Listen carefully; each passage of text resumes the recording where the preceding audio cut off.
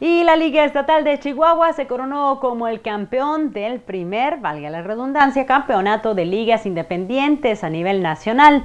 Esta se celebró en la ciudad de Ensenada. Se impusieron cuatro carreras a tres a la Liga Clemente Grijalva de los Mochis, Sinaloa.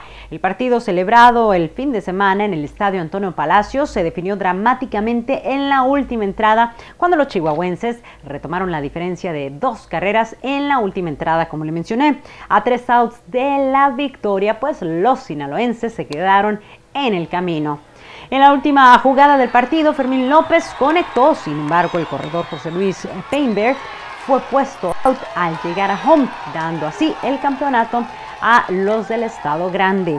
El equipo baja californiano, Valle, quedó en tercer lugar, mientras que Baja California Costa quedó en cuarto lugar.